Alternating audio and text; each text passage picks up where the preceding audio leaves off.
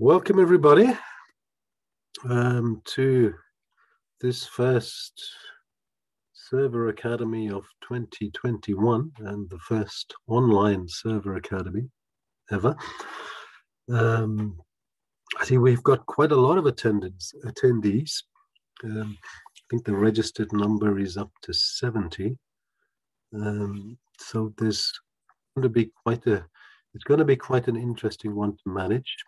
Let me start off by first of all just introducing myself and the program. Then we'll talk a bit about the modality. So, first of all, who am I? My name is Bob. Um, I'll be presenting the sessions for the next two days. Um, I know quite a lot of you on here already, but for those don't know me, my, I work at the University of Oslo various roles, I suppose, um, primarily interested in strengthening country server implementations and issues around security and interoperability. Um, I guess I also end up being sort of chief troubleshooter when people's people get into performance issues or other problems on their servers. Um, I'm always reluctant to call myself any kind of expert, or certainly not the expert. We've got a lot of people in this group who, who I know are, are um, very competent in various aspects of server administration and other things. Um, there's a few notable folk I'd ask you to look out for on the Slack. Um, Stephen Okaya from HISP Uganda, uh, Clement Dajo from HISP Western Central Africa, Morten, one of the lead developers in Oslo, Jaime, who's one of the main Android developers, Barnabas from HISP Nigeria, and Tuzo from HISP Tanzania, and, and others. I, I just noted a, a few of the names coming in as I, as, as I came in. So we've got a lot of participants, um, and that raises some challenges, of course, but I think also it's a it's a, an opportunity to grasp because um, we can take advantage of the various skills that we have on on here, and during the course of the program, I hope that people will be able to help each other out uh, as much as possible, rather than sending direct messages to me all of the time. Um, so yeah, as I said, this is the first time we've ever tried to do this. Um, it's a bit of a challenge. We've never done it before. Well, I've certainly never done it before. So um, you'll have to bear with us as we as we make a few mistakes here and there. As I said, a lot of participants. Usually we do this academy over a period of four or five days in a particular location, around about 20 people it's kind of very intense. Um, um, we usually provide people with a virtual server to work on during that.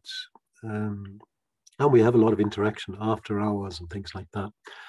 This is going to be quite different, right? We've got more numbers. Um, I know, even though we tried to make clear that this is not a beginner's introduction to Linux course, it's really training for people who are already experienced with Linux, preferably already managing their DHIS2 servers, to introduce them to to um, so maybe some additional ideas, perhaps up the skills, things like that. Um, yeah, so we decided that the primary means of communication that we're going to use is is Slack, and I think Alice or Martin should have added you to the to the Slack um, as part of your registration process. This is what we plan to do.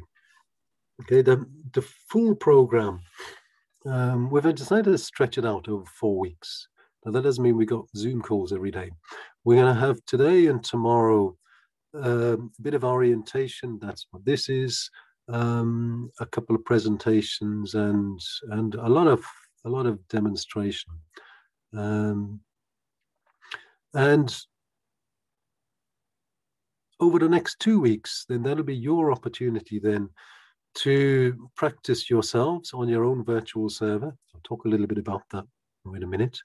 Um, your opportunity to go through the material and um, practice yourself.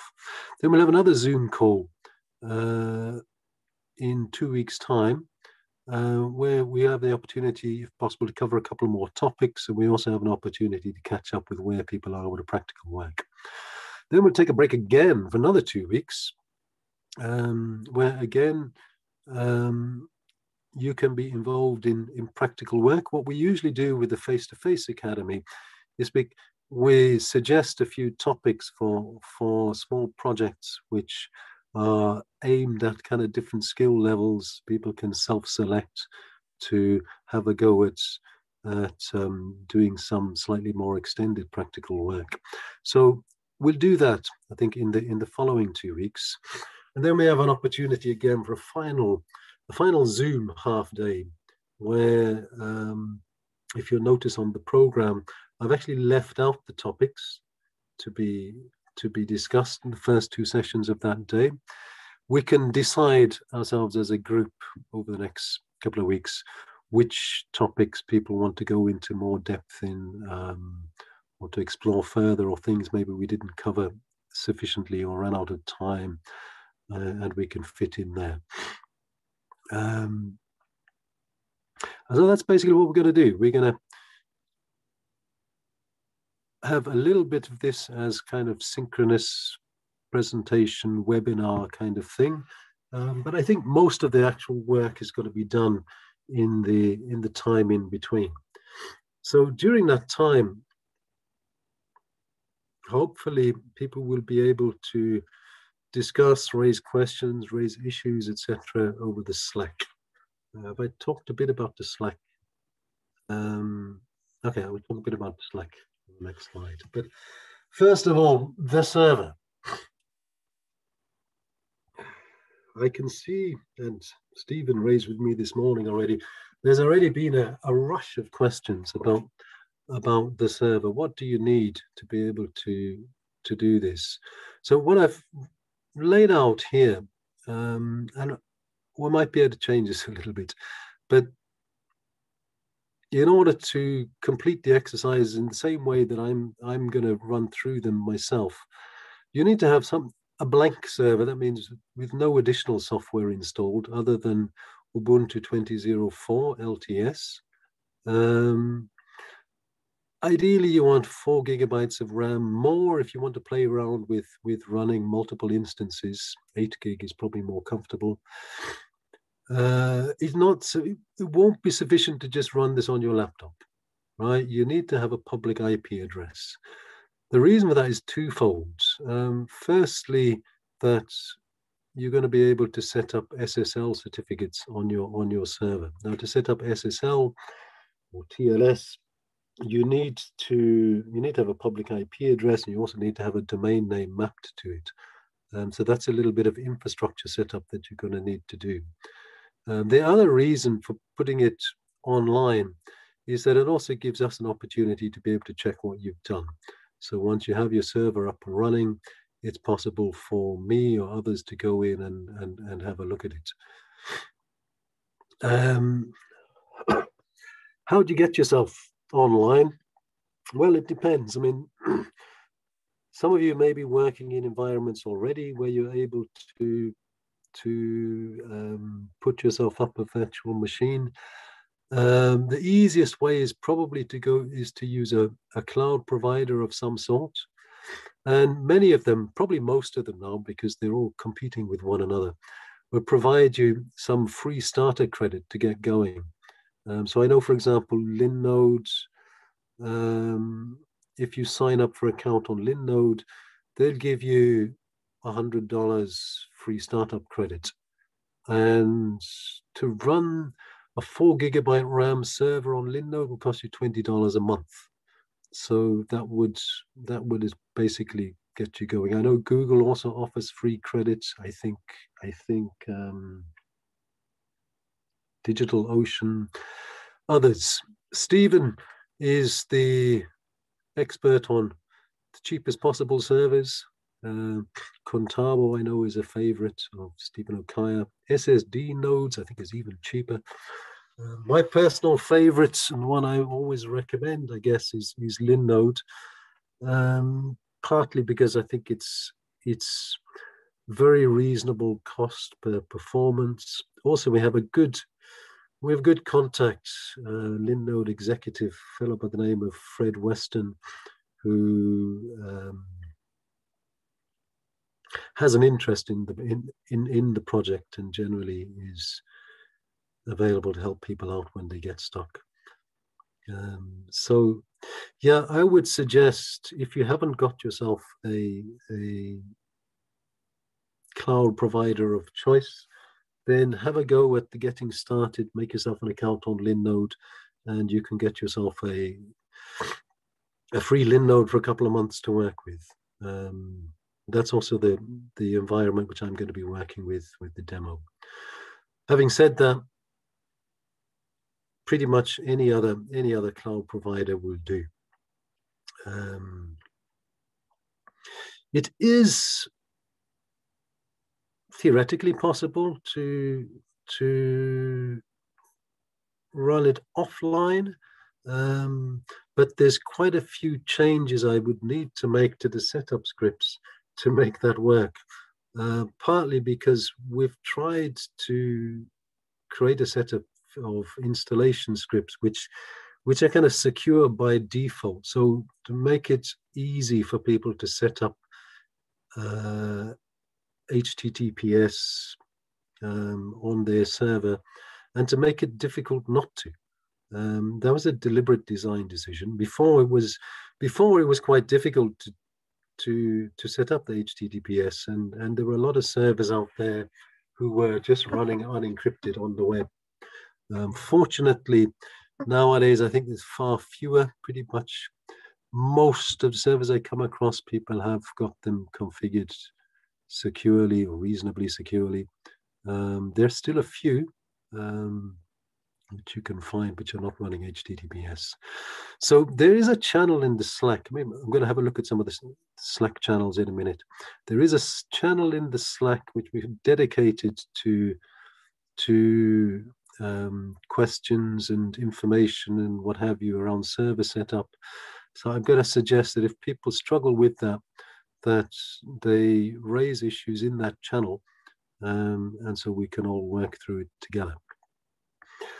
Don't panic in the sense that if you don't have your virtual server up and running now, um, you still have two weeks to complete your assignment. So um, obviously the sooner you get it up and running, the better.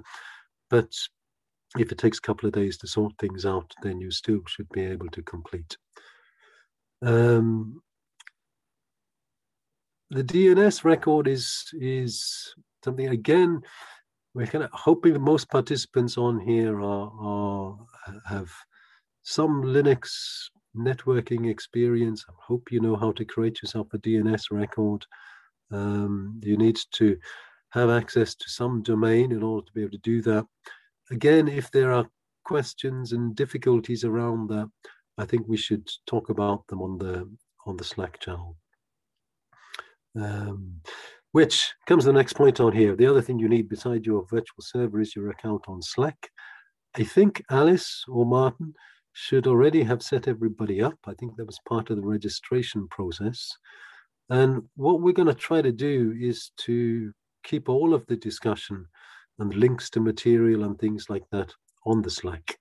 Um, and for that reason, I think Martin has even disabled the Zoom chat um, so that when we do chat, we try to keep all the discussion on Slack. That makes it easier to to look back on, to have extended discussions which last longer than a Zoom session, things like that. Um, the other thing that you need will need is some kind of SSH client on your computer, uh, preferably OpenSSH.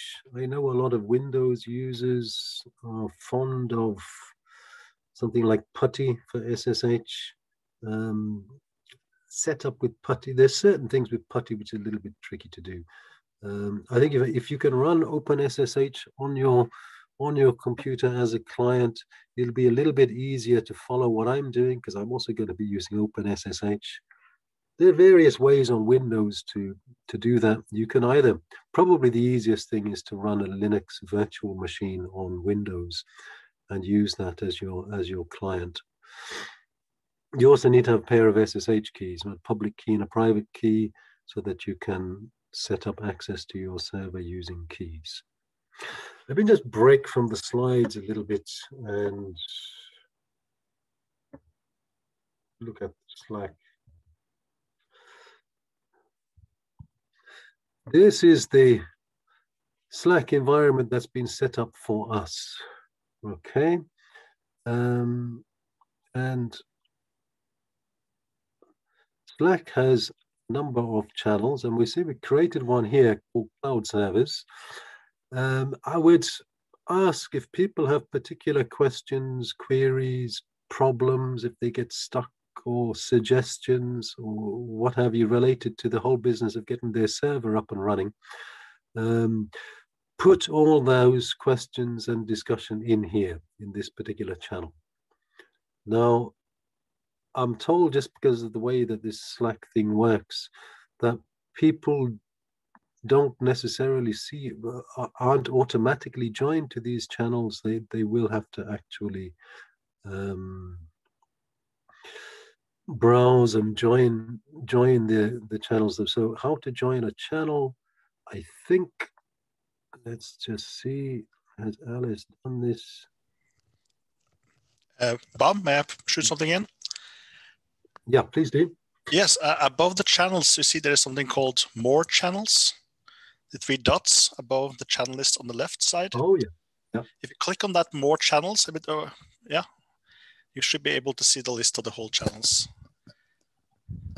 Okay, I think I'm seeing the list of the whole channels already. Oh, yeah. oh okay, yeah. Uh, but channel maybe, browser. Channel browser, go, yes. You go so each channel browser. Course, each of you in the course can also navigate here and manually join any channel that you missed so far. That's all. Thank you. Yeah.